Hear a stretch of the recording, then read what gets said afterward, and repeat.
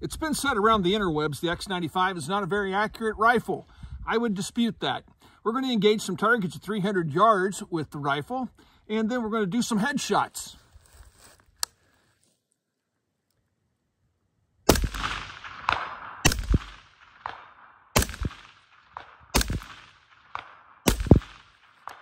Entirely too easy. Let's do some headshots.